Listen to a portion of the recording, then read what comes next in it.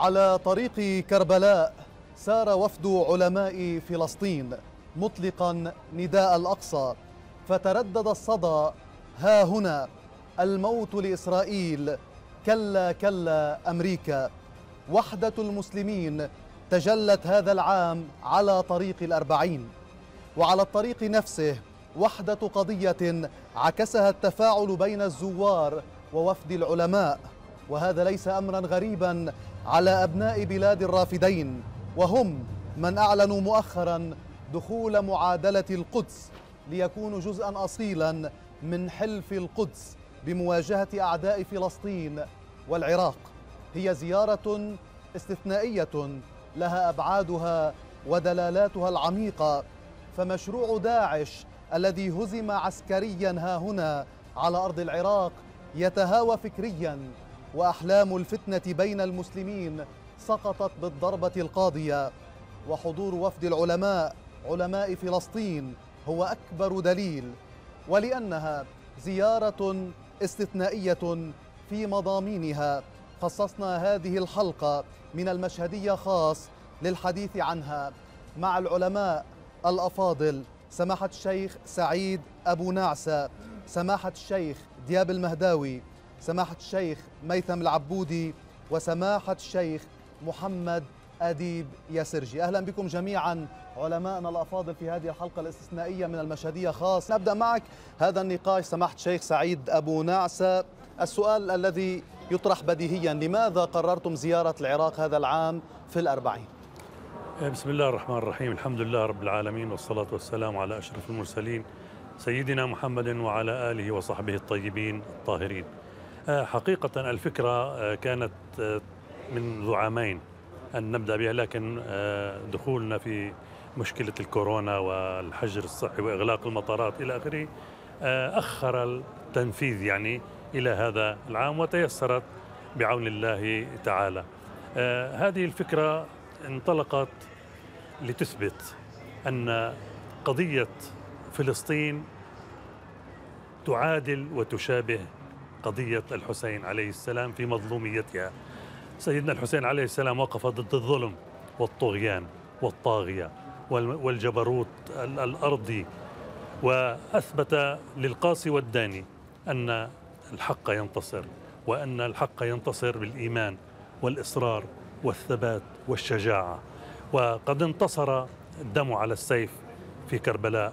وسينتصر الدم على السيف في فلسطين لأن القضية واحدة ولأن العدو واحد ولأن يزيد تجدد في أمريكا والكيان الصهيوني ولأن الشعب الفلسطيني هو حسين هذا هذا العصر لأن نهجه هو النهج ذاته نهج الحق والثبات على الحق والمطالبة بالحق والإصرار عليه رغم الضعف ورغم عدم التعادل في ميزان القوة بين الفلسطينيين وبين الكيان الصهيوني لكن الضعف عندما يتجمع حوله طلاب الحق يصبح قوة ولأن هذه القوة استمديناها واستلهمنا من سيرة الإمام الحسين عليه السلام استمدينا القوة والنهج على هذا الصراط المستقيم وسننتصر بإذن الله. واللافت كان التفاعل العراقي الكبير في هذه الزيارة، هنا أسألك سماحه الشيخ ميثم العبودي. كلا كلا أمريكا الموت لإسرائيل صدحت بها حناجر العراقيين داخل الصحن الحسيني.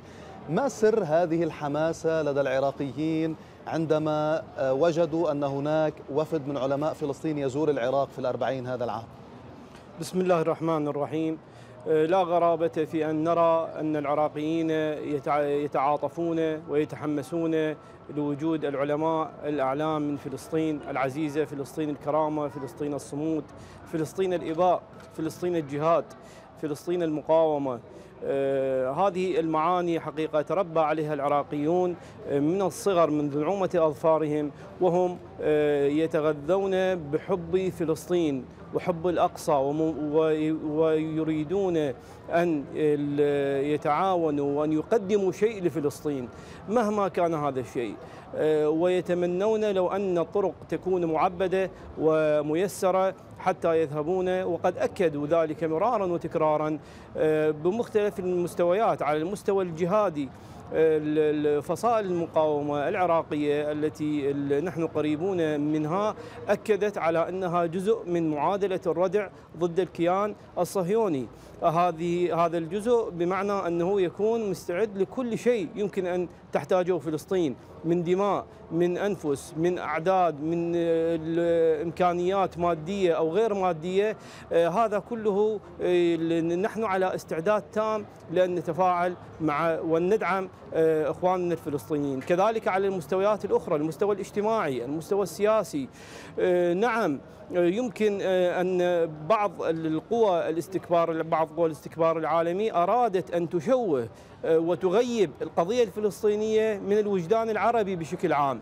ولكن آه، حقيقة باءت آمالهم بالفشل وبات مشروعهم آه، في مهب الريح. آه، خصوصا نحن نرى أن جذوة التفاعل الآن في أثناء مسيرة المشي سيرا على الأقدام بمئات أو بعض الأحيان آلاف الكيلومترات للإمام الحسين عليه السلام. هؤلاء الذين عشقوا الحسين عشقوا الحسين كرمز للمقاومة. عشقوا الحسين كرمز لرفض الظلم لرفض الاستبداد. نحن عندما نرى يكونون مع فلسطين وإلى جانب فلسطين طبيعي ان. أن مشروع الإمام الحسين هو مشروع عالمي. من ضمن المشروع الإمام الحسين هو رفض الطغيان في أي بقعة لا سيما إذا كان الظلم وقع على المسلمين. الظلم الذي وقع على الفلسطينيين طيلة الأعوام الماضية طيلة الحقب الماضية آه، هذا حقيقة يؤرقنا من الصغر إلى الكبر رجالا ونساء. لذلك التفاعل عندما نجد أن تفاعل وأن الأخوة آه، العلماء أعطوا نكهة خاصة في هذه الزيارة آه، أعطوا أنه أعادوا ذكريات العراقيين لفلسطين. بأي معنى؟ لماذا أعطوا هذه النكهة برأيك؟ عندما يرى آه، أي شخص أي مسلم أي إنسان حر يرى أن الإسرائيلي يعتدي على امرأة فلسطينية يعتدي على طفل فلسطيني يعتدي على إنسان فلسطيني أعزل يمكن أنه أقصى ما يمكن أن يرميهم بحجارة ويعتدون عليه بأقصى أنواع التعدي آه، هذا حقيقة لا يقبله أي إنسان أي ضمير. لذلك الأخوة الفلسطينيين العلماء عندما أتوا النكهة كانت من خلال آه، تفاعل الناس معهم وتفاعلهم مع الناس طيب هنالك نعم. تفاعل متبادل كان بين الطرفين عن هذه النكهة عن هذا الرد فعل من العراقيين سمحت الشيخ دياب المهداوي أسألك أيضا كيف هل كنتم اولا تتوقعون هذا الرد الفعل من الشعب العراقي خلال زيارة الأربعين خاصة انه استمعنا للهتافات داخل الصحن الحسيني معكم؟ وكيف تصف طريقة استقبال الشعب العراقي لكم كعلماء فلسطين اليوم؟ بسم الله الرحمن الرحيم. طبعا نحن لا نستغرب هذا الموقف العظيم والمشرف من الشعب العراقي الشقيق الذي هو كان السباق لنصرة القضية الفلسطينية وفي عام 1948 قدم الجيش العراقي خيرة جنوده الأبطال الشهداء وقبورهم في جنين تشهد. ما زالت مقبرة لهم للإخوة العراقيين ليكونوا شهداء. وهذا الشعب العظيم الذي رأينا من القادة الدينيين والسياسيين ومن الشعب امرا نحن نعم نتوقعه. ولكن رأينا أكثر ما نتوقعه من هذه الحفاوة وهذا الحب للقضية الفلسطينية لأن الشعب العراقي الذي يحمل روح الحسين وروح الاستشهاد من أجل رفع الظلم عن أي شخص وهذه رسالة الإمام الحسين عليه السلام فكيف لا يكون هذا الشعب العراقي بكافة آه، مستوياته أن لا يكون مع القضية الفلسطينية؟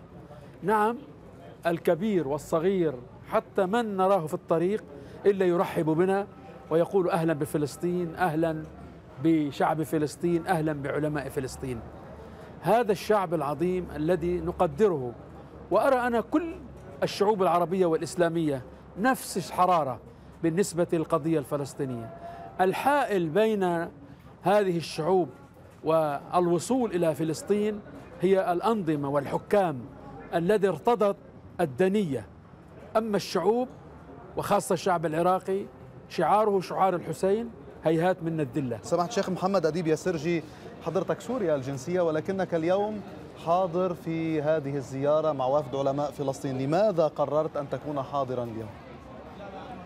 هذا السؤال آه، تجيب عنه جماهير ملايين الشعوب العربية التي خرجت في كل مناسبة تأييدا وتضامنا مع الشعب الفلسطيني. ما من مناسبة وما من جولة من جولات المعارك التي خاضها شعبنا الفلسطيني العظيم مع العدو الغاصب مع الكيان الصهيوني إلا وكانت الجماهير تهب, تهب بشكل تلقائي إلى الشوارع لتنادي لبيك يا فلسطين. القرار الذي أخرج هؤلاء الجماهير هو القرار الذي أتى به وهو قرار ليس خارجيا. ليس توجيها من أحد وإنما هو قرار داخلي. ففي كل منصف وفي كل حر وفي كل إنسان شريف عربي ومسيحي ومسلم وغير مسلم وغير عربي رأينا الكثير من أحرار العالم من المنصفين. في داخل كل واحد منهم كان هناك جزء مخصص لفلسطين باعتبارها مثالا ونموذجا لقضايا العصر من حيث مواجهة الحق للباطل. هذا من ناحية أولى. من ناحية ثانية كلنا وأنت منهم وأنا والشيوخ الكرام لا نعترف بهذه الحدود التي تفصل فيما بيننا. فسوريا هي فلسطين وفلسطين هي سوريا وهذه بلاد الشام المباركة. في عام 1920 آه، في الثامن من آذار عام 1920 كان يوم إعلان استقلال سوريا من دمشق. الذي تلا هذا الإعلان هو العلامة الشيخ محمد عزة الدروزي ابن مدينة نابلس. فبلا شك نحن جميعا نعلم أنه ما من قضية سميناها قضية سورية أو قضية يمنية أو قضية عراقية أو مصرية أو مغربية سميها ما شئت. وكل هذه الأقطار لها قضاياها ومعاناتها الخاصة. لكننا إذا نظرنا نظرة إنصاف ونظرة ثاقبة علمنا أنه ما من قضية من هذه القضايا سوف تحل ما لم تحل القضية الفلسطينية حلا عادلا منصفا. كيف يمكن لأي واحد منا أن يطمع بأن تكون لبنان أو سوريا أو العراق أو اليمن هانئا وسعيدا ومستقرا وفلسطين على ما هي عليه؟ الحل يبدأ من هناك. نحن لم نتخلى ولا يمكن أن نتخلى عن هذه المدن والبلدان التي أنشأتنا وربتنا وغذتنا من خيرها لا عن سوريا ولا عن لبنان ولا عن اليمن ولا عن مصر. لكن نظرنا إلى فلسطين هو نظر إلى حيث موطن الداء ورأس الأفعى. فلذلك عندما نعمل لأجل فلسطين فنحن كتحصيل حاصل نعمل لسوريا وهذا شيء طبيعي. جئنا بدافع من قلوبنا بقرار يقوده الحب. جئنا بقرار تقوده مسيرة طويلة بدأها الكثيرون. نعلم بعض أسمائهم وكثير من الأسماء غابت عنا. نحن الآن في محضر صور لشهداء الحرم القدسي. تجدهم من كل هذه الجنسيات التي اخترعها الاستعمار لنا لكن جنسيتهم الحقيقية هي جنسية الحرية وجنسية الإباء وجنسية الشرف وهذه كلها إذا أردت أن تبحث عن عنوان يلخصها في هذا العصر فهي الجنسية الفلسطينية. على كل حال أيضا وكان لكم عدة لقاءات مع مراجع دينية سماحة الشيخ سعيد أبو نعسة أبرز هذه اللقاءات وكيف أيضا وجدتم تفاعل المراجع الدينية في العراق والمسؤولين العراقيين معكم؟ يعني تحدثنا عن التفاعل الشعبي مع سماحة الشيخ قبل قليل. نسأل الآن عن هذه اللقاءات التي أجريتموها هنا في العراق. ماذا لمستم؟ أجرينا لقاء مع المرجعيات التي سمح وقتها آه، بالزيارة. وحقيقة نحن لم نستغرب ردة فعلهم أو آه، وجهة نظرهم لأنهم بالأساس هم يعني مراجع مثقفون ولم يأتوا من فراغ. هذا اللقب لم يأتهم من الفراغ. فهو مثقف ثقافة عالية ويعرف عن فلسطين أكثر مما نعرف نحن. تحدثوا في السياسة فأجادوا وتحدثوا في الوحدة الإسلامية فأجادوا وتحدثوا في الانفتاح على الآخر. أجادوا يعني نحن لا نستغرب ذلك منهم وهم لم يقصروا أبدا.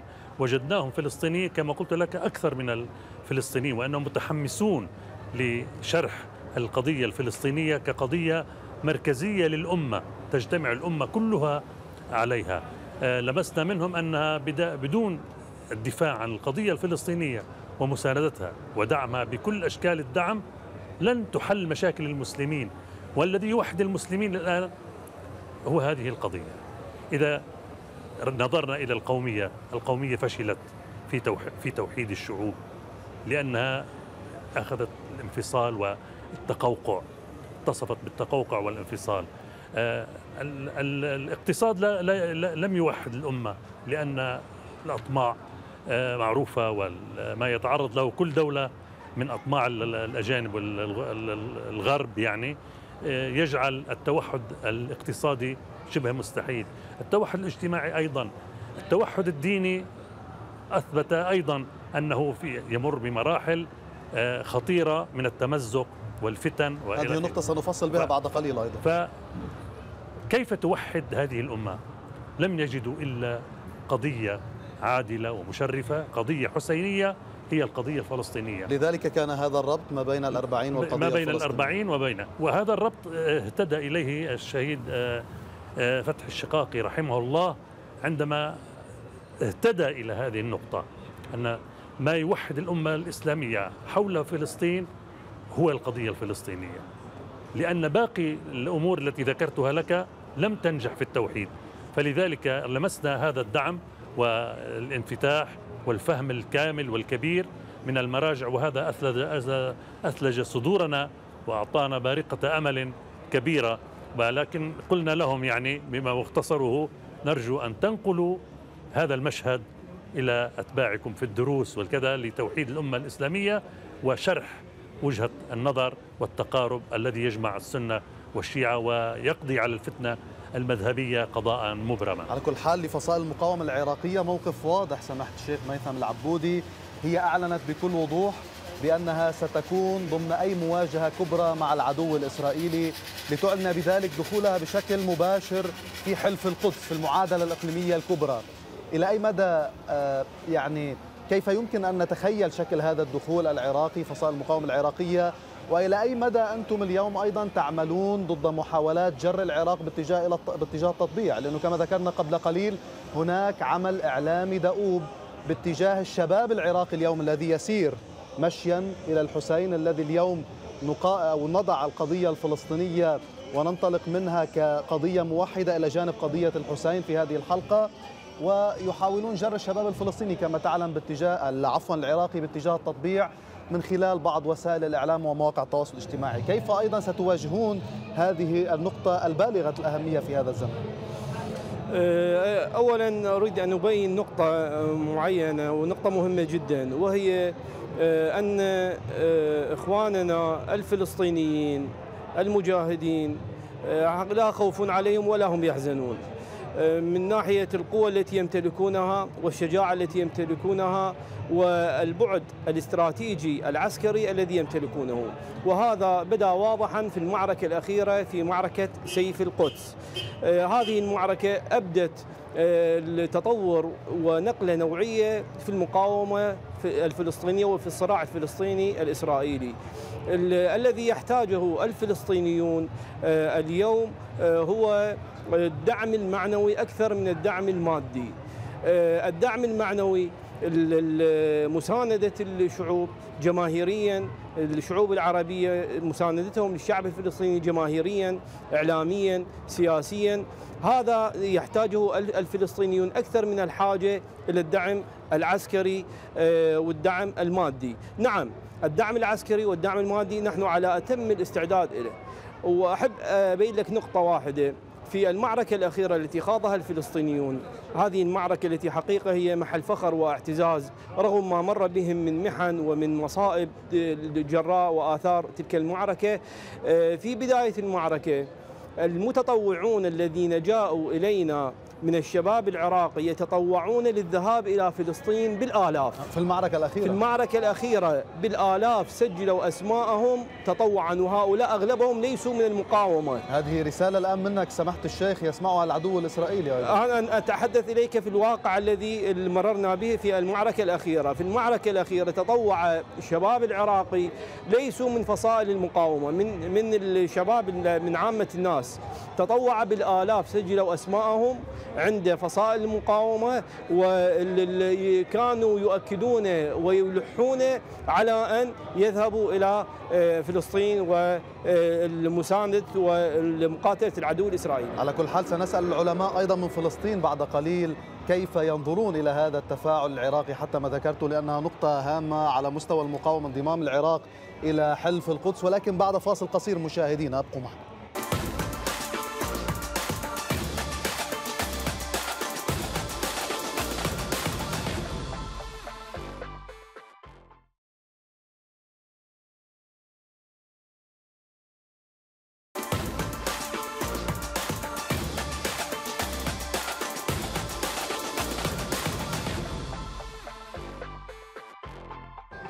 نحيي الشعب الفلسطيني والحكومة الفلسطينية. إحنا العراقيين لا نستطيع أن نطبق مع إسرائيل. مذهبنا وديننا ما يسمح لنا. مسجد الأقصى مسجد للمسلمين. والقدس قدس للمسلمين. إيه مسجد المسلمين. يعني من يعتدي عليهم يعتدي على العالم كله. تطبيع خيانة. إذا الأقصى تحرر الأمة أخذت مأخذها. نحن كعراقيين كأبناء آه، الحسين وأبناء أبي الفضل العباس وأبناء الحشد الشعبي آه، اليوم كل إحنا آه، كلنا مع فلسطين مع المقاومة الإسلامية في العالم الإسلامي. ونحن نستنكر كل من يطبع. نحن إحنا فلسطين يد واحدة إن شاء الله. ويعني متكاتفين وياهم وإحنا ضد إسرائيل. فلسطين يعني مظلومين. فلسطين دولة عريقة. هي بيت الأقصى. رسالة من آه، أخ عراقي إلى أخ فلسطيني. آه، عليكم بالثبات ولا للتطبيع مع الجانب الآخر. لا أكيد نحن ضد التطبيع. ضد التطبيع بكل كياننا آه، إحنا وفصائل المقاومة وجميع يعني دول الجوار. وبيت المقدس ومن عرج الرسول صلى الله عليه وآله وسلم. والله نشرف بالأقصى وفلسطين وعلى راسنا. وإحنا نرفض التطبيع مع إسرائيل لأي سبب كان. فالفلسطينيين من الأقصى من الجنوب إلى الشمال كلهم إخواننا ونشرف بهم ونحطهم على رؤوسنا وهم جايين لبا عبد الله الحسين. فاهلا وسهلا وبهم وحياهم الله.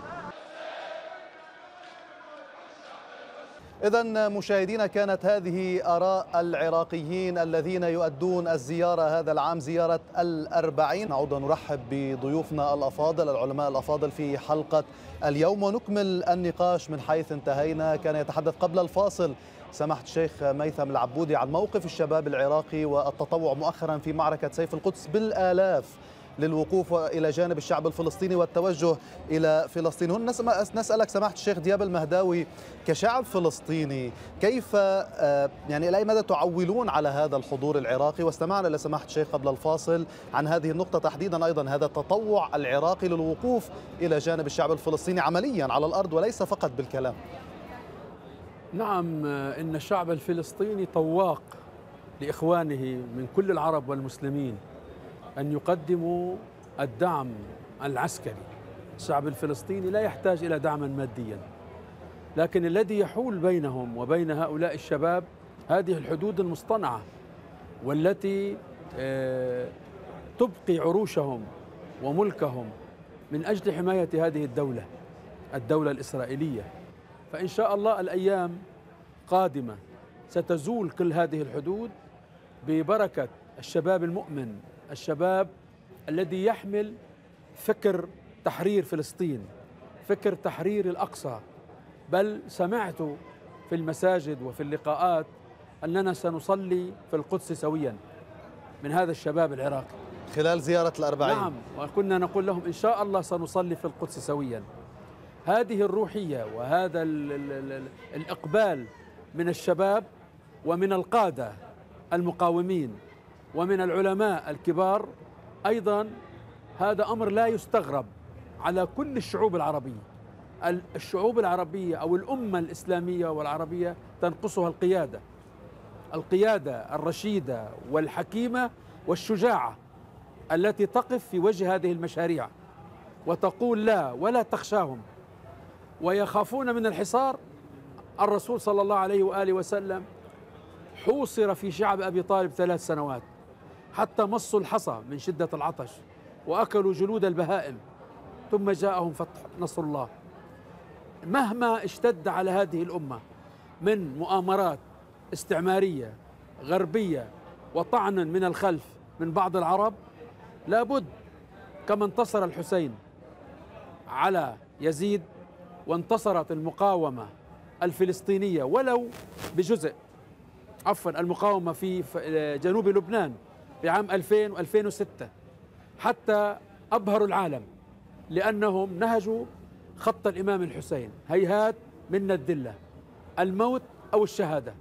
هذا الفكر الناضج الذي بدأ يتبلور في قلوب الشباب الذين من الضغوط وأقصد الشعب الفلسطيني من ضغوط إسرائيل ومن القريب والبعيد. هناك هجرة إلى الغرب. هناك سعي أنه لا يعطون الحقوق.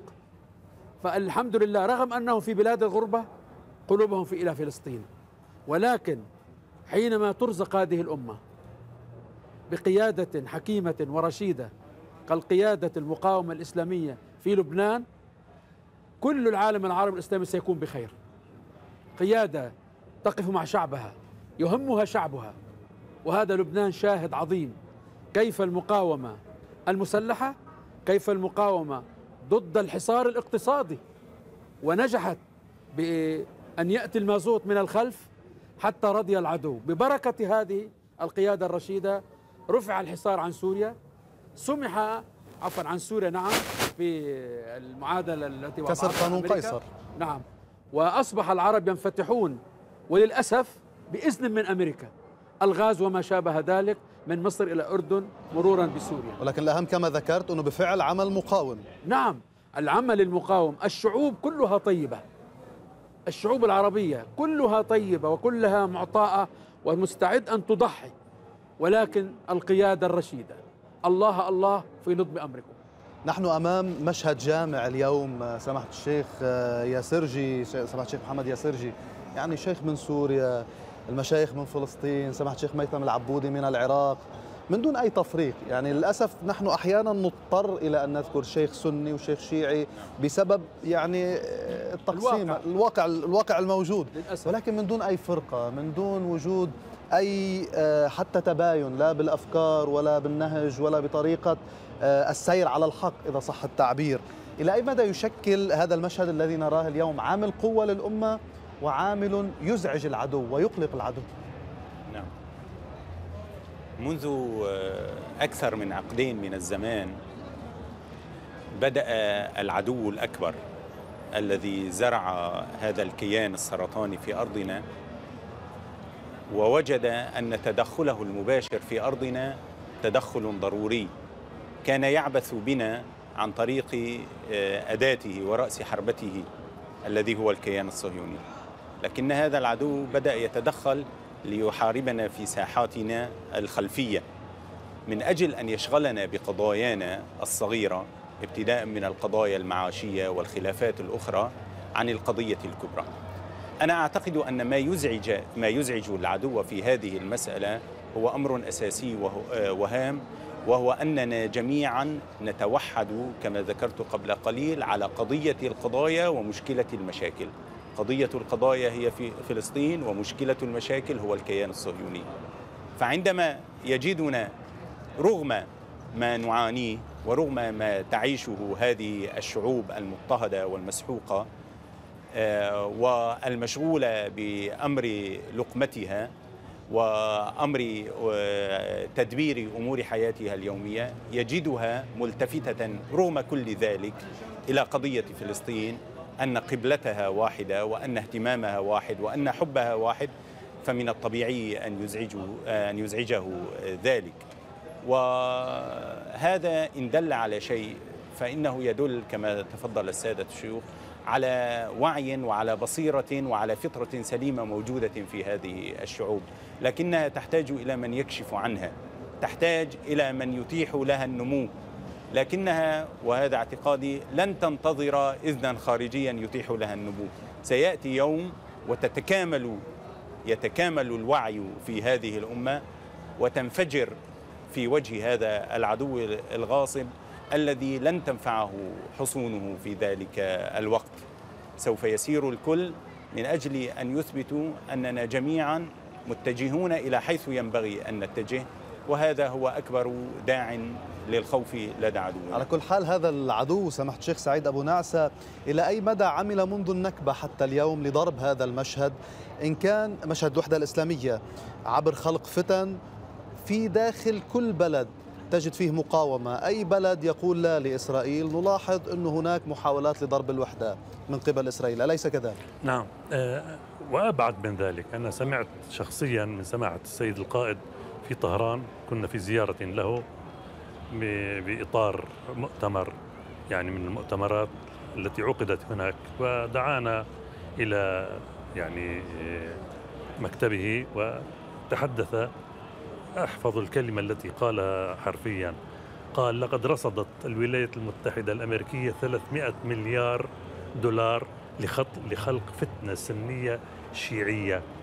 خسروا أموالهم ولن تحدث. باختصار آه العدو الصهيوني يبحث عن نقاط التفرقة دائما. على كل حال مشهد وجودكم اليوم هو أكبر دليل على هذه الخسارة الأمريكية.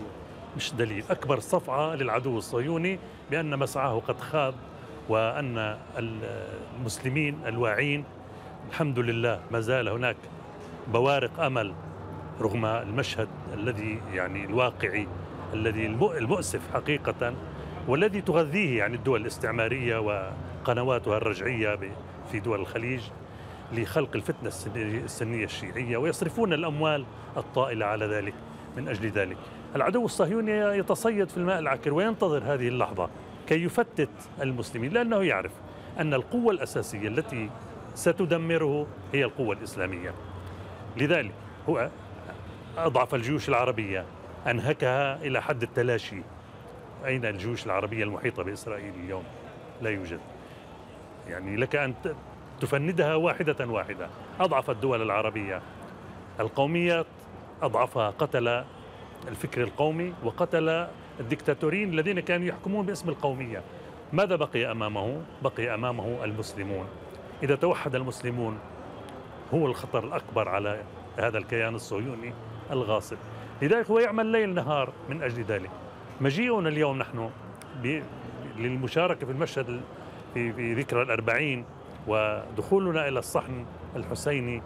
نحن حقيقة يعني لم نكن نتوقع ردة الفعل هذه بهذه القوة وبهذه العاطفة الحارة الحارة جدا.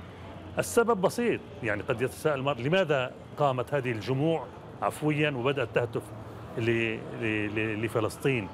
لأنهم شاهدوا هذه العمائم السنية تدخل إلى الصحن الحسيني.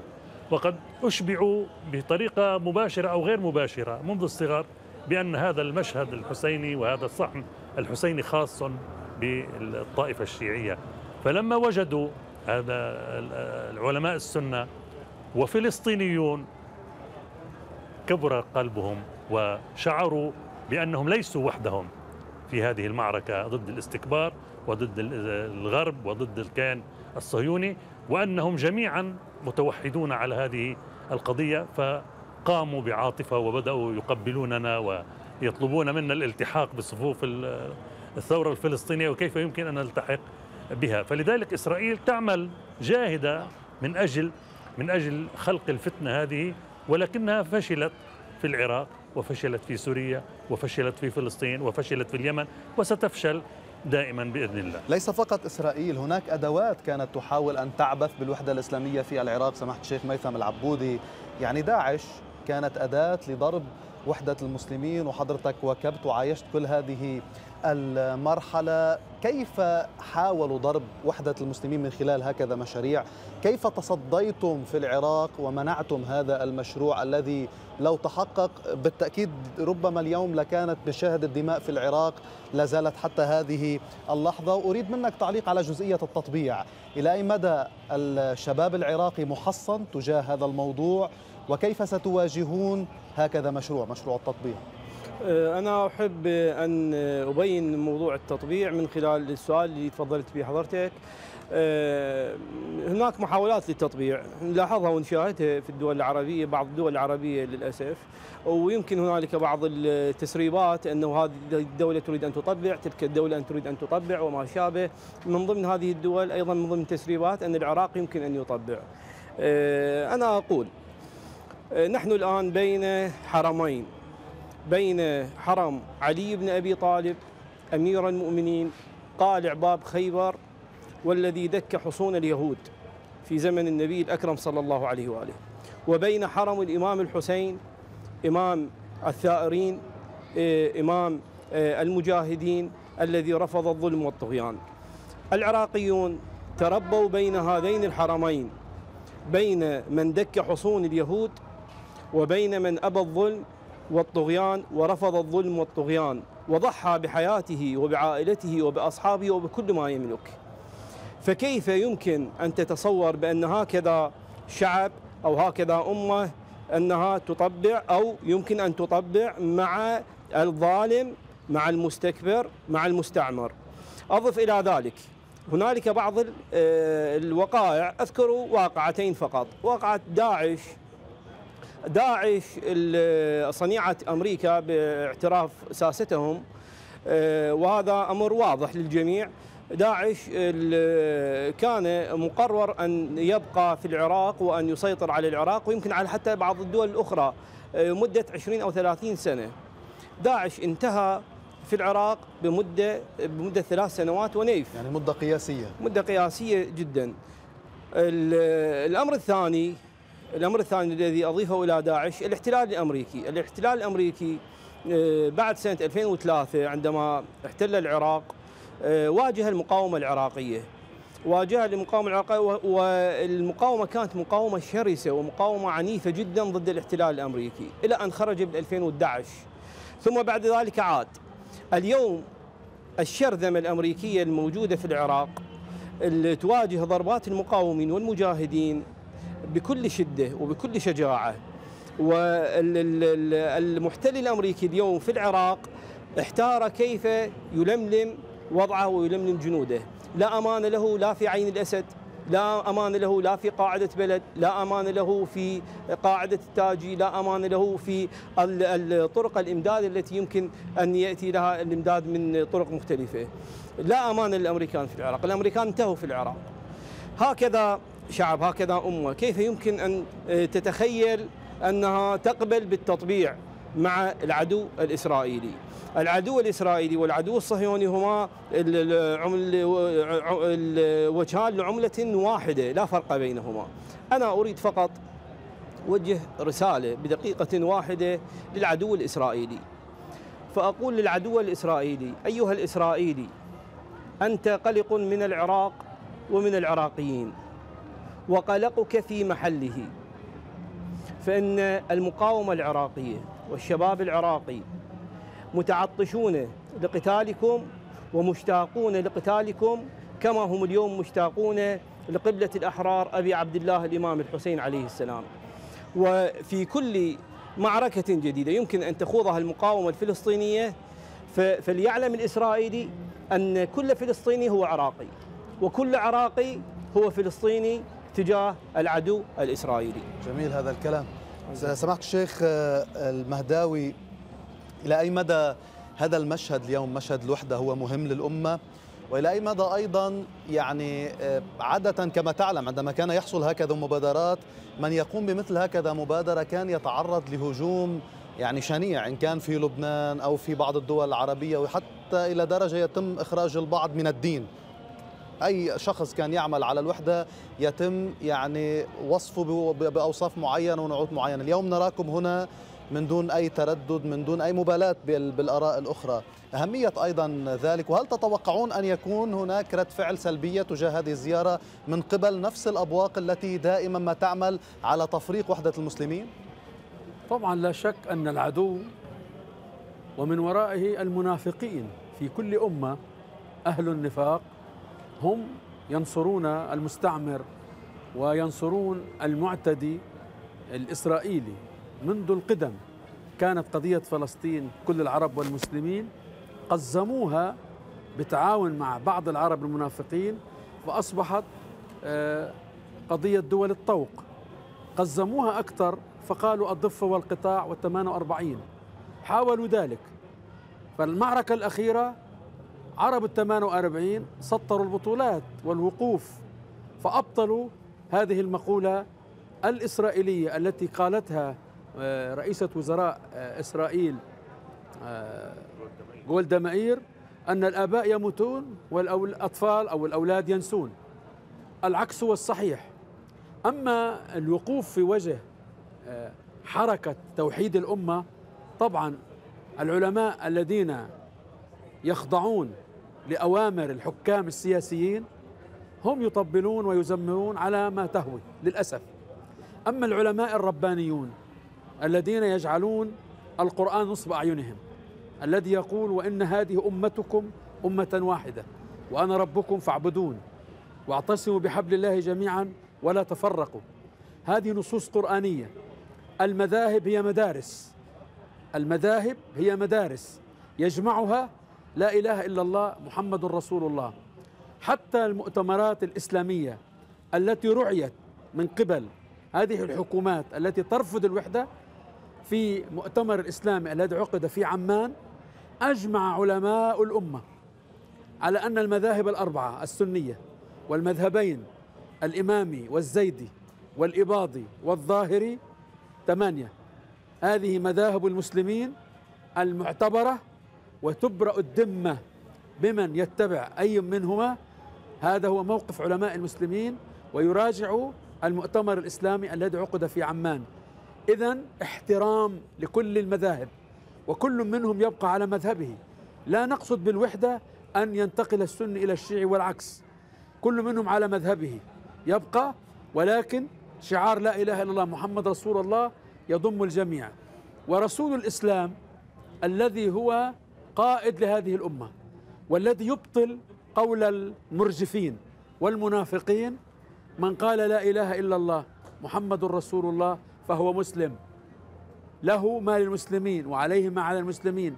وفي حديث آخر من صلى صلاتنا وأكل من ذبيحتنا وتوجه إلى قبلتنا فهو مسلم من المسلمين. هذه الوحدة ستسير بإذن الله تعالى وهي سائرة ولن تقف. والذي يسير في هذا المشروع لا يلتفت إلى ما يقول الآخرون. نعم سواء من علماء السنة أو من الشيعة يتهم السني أنك تشيعت والشيعي أنك تسننت هذه آه، موسوعة آه، ربابة قديمة قالوها وسيبقوا يقولونها. آه سيبقوا يقولونها. سيبقوا يقولونها. الذين هم آه، ينتفعون ممن يعطيهم هذه المعلومات. هذه أمة إسلامية واحدة. شاء من شاء وأبى من أبى. لا يستطيع أي إنسان حتى لو كان من كبار العلماء أن يخرج واحد من الأمة يشهد أن لا إله إلا أن محمد رسول الله.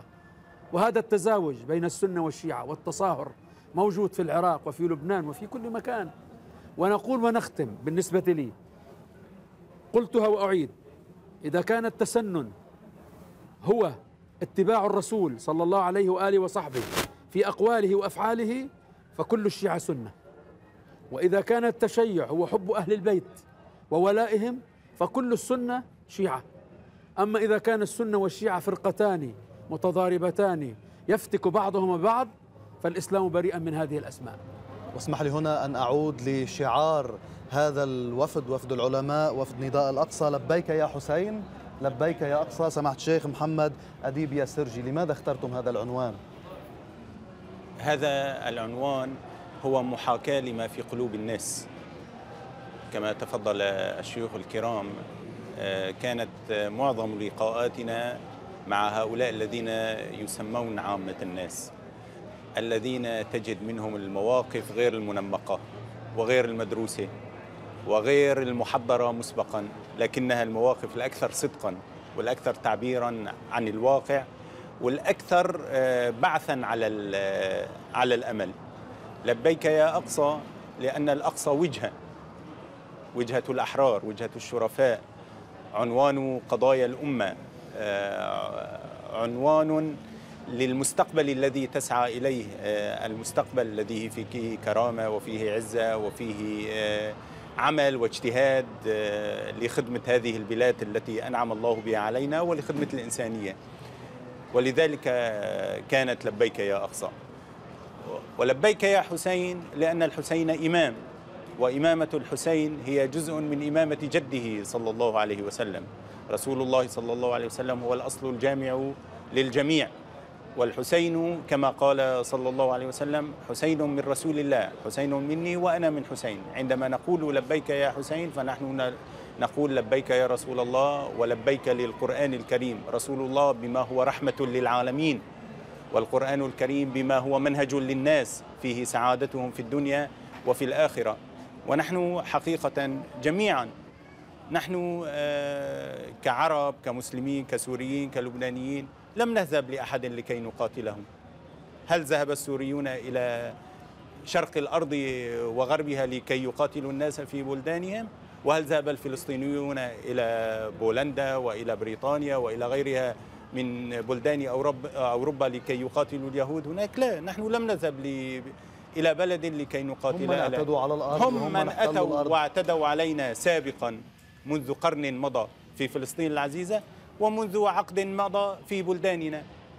سوريا تعرضت لما تعرضت إليه من طغيان وحرب تكفيرية آه، بذرائع للأسف وعناوين مقدسة لكنها كانت حربا مدنسة من أجل أن تشغل هؤلاء الناس وهذه الشعوب الطيبة والعاشقة آه، آه، لدينها وربها ولأرضها من أجل أن تشغلهم عن قضيتهم الأساسية. الآن سوريا الحمد لله بدأت في مسيرة التعافي وهي جزء أساسي من هذا المحور. الذي يعلم أن قبلته الحقيقية هي الأقصى. لذلك نحن قلنا لبيك يا أقصى والإمام الحسين الثائر هو مثل أعلى ولا بد للإنسان من مثل أعلى يحبه ويقتدي به. ولذلك قلنا لبيك يا حسين. على أمل أن نرى دائما هذا المشهد الجامع وهذه الوحدة ما بين المسلمين والعمل ضد كل من يحاول أن يفرق فيما بين المسلمين. أشكركم جزيل الشكر العلماء الأفاضل. سماحة الشيخ سعيد أبو نعسة سماحة الشيخ دياب المهداوي سماحة الشيخ ميثم العبودي وسماحة الشيخ محمد أديب ياسرجي كل الشكر لكم على هذا اللقاء الجميل معكم والمعبر من هنا من كربلاء. والشكر دائم لكم مشاهدينا على المتابعة. هذه الحلقة الخاصة من المشهدية خاص وصلت إلى نهايتها. إلى اللقاء.